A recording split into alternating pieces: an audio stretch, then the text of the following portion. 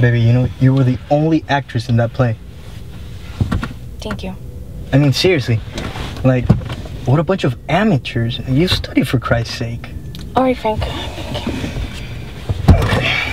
I, I just don't want you feeling bad about the damn thing. That's all. Could we just, just like stop talking about it? Sure, sure. I mean, I just I just don't want you feeling bad about the whole thing, you know?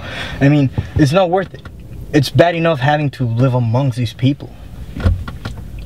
All right, Frank. I, I get it. Just I just don't want to talk about it. Baby, let's talk about this. Come on. Oh my, what, what are you doing? Baby, Stop. please. Just stop touching me, please. For real. Like, just stop. Stop touching me. Okay, April. You know what? It strikes me that there's a considerable amount of bullshit going on through all this shit, you know? And there's just a couple of things that I'd like to clear up. Okay? Let's start. Mm-hmm. Number one, it isn't my fault that the play was lousy. Okay? Number two, it sure as hell isn't my fault that you didn't turn out to become an actress like you wanted to be.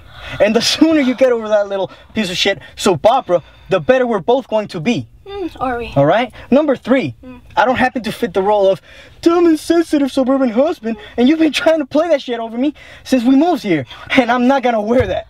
Okay? Jesus Christ, April. Didn't I make it like particularly clear to you that I don't want to talk about it? Or you didn't get that? April, sweetheart, I'm trying to be nice about the damn Oh my. God! How terribly, terribly kind of you, Frank. You know what? I don't deserve this shit. I don't deserve- You're deserve always so definite on the subject of what you do and don't deserve. April, you know what? You're sick. And I really mean that, April. Whenever you're like this, you are sick. You need And you know what you are? What am I? You're disgusting. Oh, come on. Jesus Christ, April. Can't believe this shit. You know, you don't fool me, Frank. You don't fool me. for you. No. Okay. You think you have me safe in this little trap of yours, and you could bully me into feeling however you want me to feel, and it's not gonna work. Jesus Christ, April! Are you hearing yourself? In a trap? In Yes, a fucking yes, trap? Frank, me, Frank! Jesus Christ. You're pathetic. That's what I think. And I think you're a self-deluded little boy. I mean, look at you. Look at you, and please tell me how, by any stretch of the imagination, you could call yourself a man. Fuck you! Fuck you! Fuck you!